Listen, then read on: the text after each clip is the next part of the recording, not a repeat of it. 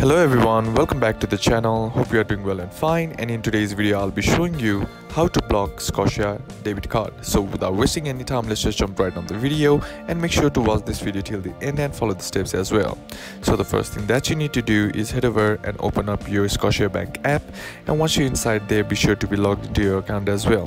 Now once you're logged into your account, what you need to do is select the debit card that you want to block. So just simply select on the credit cards and there choose the card that you want to block. And once you select the card here, you'll be sent to that card page.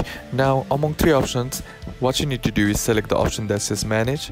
And once you tap on manage here you'll be sent to this page. Now here on the settings option you'll be seeing an option that says locked or unlock card. Now simply tap on that.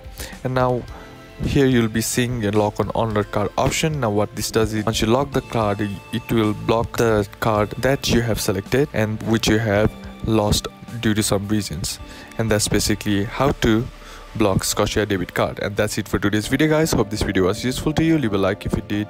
Comment down below what the next video should be on. Consider subbing to the channel. Thanks for watching. Bye bye